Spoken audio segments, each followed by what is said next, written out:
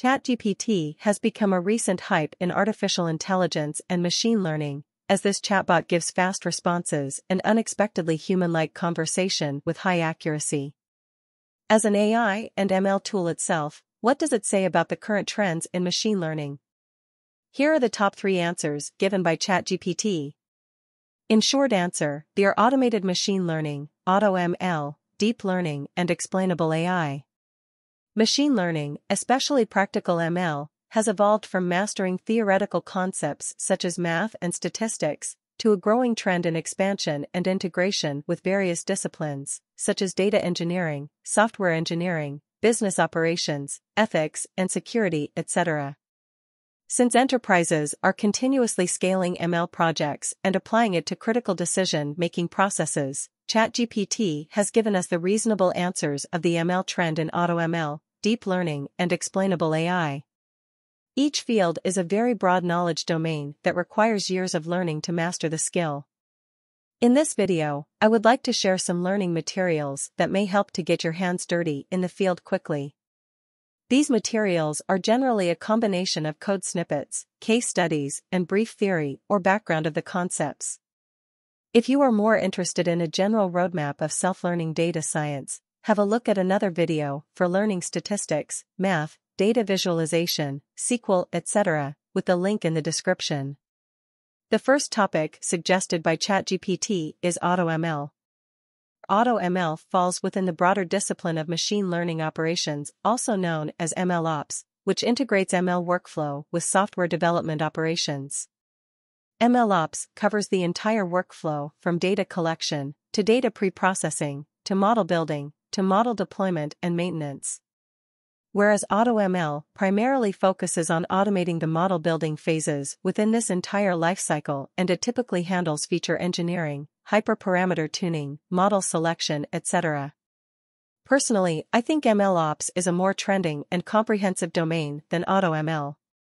This is because even though machine learning has been introduced to enterprises and institutes for decades, a high percentage of ML projects still fail to be deployed into production. Therefore, there are more efforts putting into MLOps and ML in production in recent years. The Google trend also indicates an outstanding growing speed of MLOps topic being searched in the last five years. So how can we get started in MLOps and be prepared for the this trend in ML? The first resource I recommend is the GitHub repository, Awesome MLOps. It is indeed an awesome GitHub repository that collects a large amount of blogs, books, documentations related to MLOps. This repository surrounds the topics of model testing, deployment and monitoring, data engineering and software engineering, workflow management, process management, and more. The repository helps us to gain an overview of various subtopics in this field by reading one or two short articles on each subtopic for a basic understanding. Secondly, I recommend the book, Building Machine Learning Pipelines by Hannes Hapke and Catherine Nelson. This book introduces the MLOps framework, TensorFlow Extended or TFX, that allows bringing ML pipelines into production. The first part of the book covers implementing the typical ML workflow using TFX, which typically starts from data ingestion, data validation, data preprocessing, model training, model analysis, and validation, to model deployment and maintenance. The second part of the book focuses on orchestrating TFXML pipelines using Apache Beam, Apache Airflow, and Kubeflow.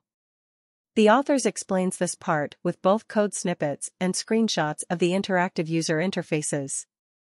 Overall, the authors organize MLOps concepts in a logical structure and demystify productionizing ML pipeline with practical examples, which makes these concepts easy to follow. In addition to this book, the TensorFlow extended YouTube playlist serves as a perfect complement of this book. I recommend watching the videos first and using the book for digging deeper into specific topics. Another book I recommend for learning MLOps is Practical MLOps by Noah Gift and Alfredo Deza. The book covers a wide range of fundamental concepts and toolings in MLOps. Especially, the first chapter Introduction to MLOps talks about the hierarchical need of machine learning engineering and provides a roadmap of different skill sets required for mastering MLOps. According to the authors, MLOps is composed of 25% DevOps, 25% data, 25% model, 25% business, and it is the mixture of these domains that makes a scalable and efficient MLOps pipeline in production.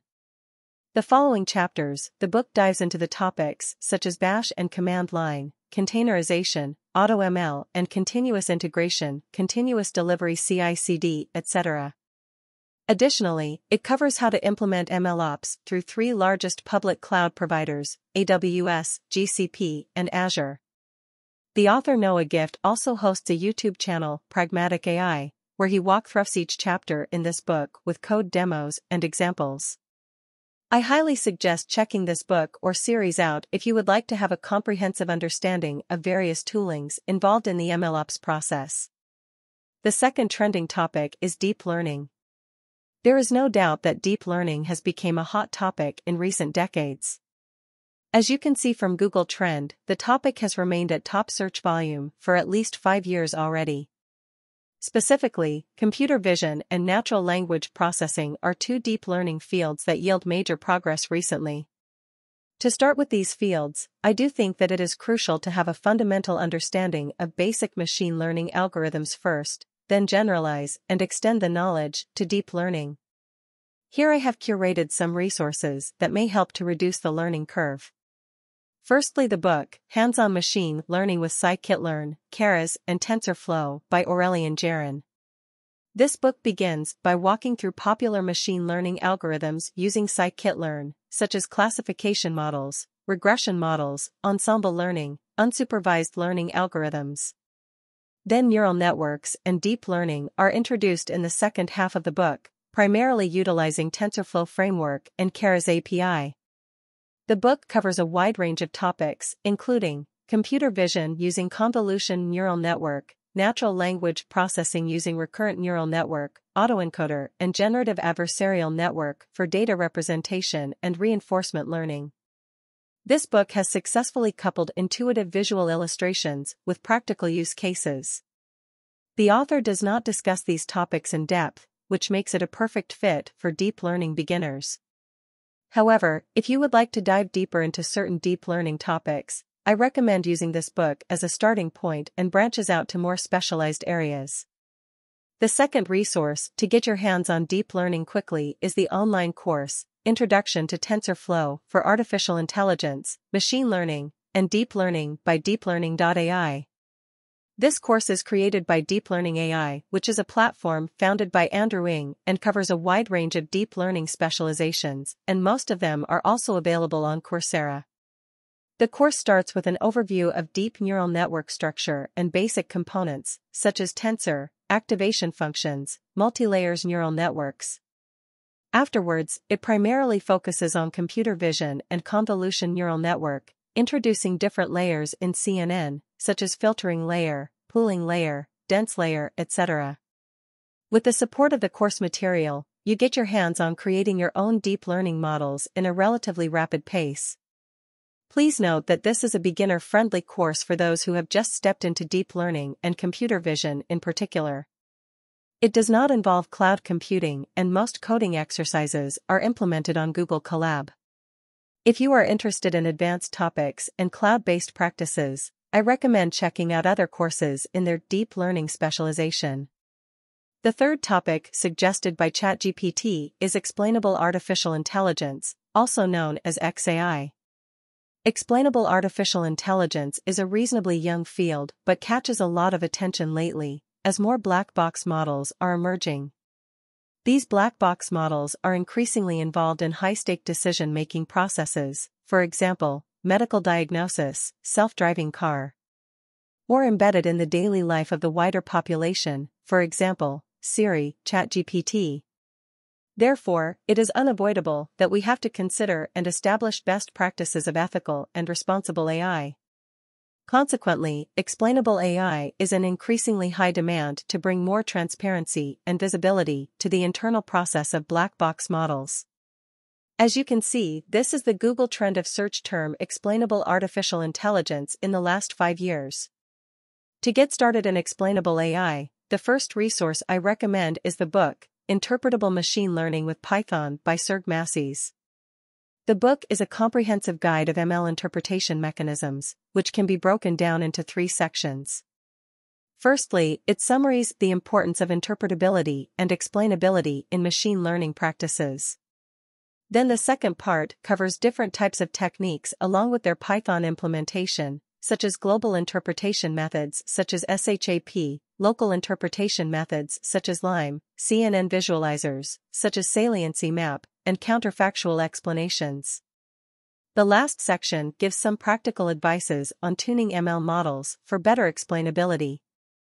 Instead of building black box models and interpreting the output afterwards, it is also a common practice to build interpretable model in the first instance through model tuning techniques, such as feature engineering and selection, regularization, implement model constraints and more.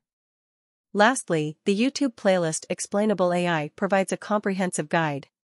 This video series, created by DeepFindr uses nice visual illustration of model interpretation techniques and explain the theory behind them in a simple way. Each video typically ends with the practical implementation so that it provides the audience with a more concrete understanding of the concept. The introduction video of this series is very valuable in terms of providing an overview and differentiating explanation techniques into various categories, such as model agnostic or model specific, global explanation or local explanation, and explanations of different data types, including image, text, and tabular data. Thanks for watching. If you find this video helpful, please like and subscribe for more upcoming videos. Look forward to see you in the next one.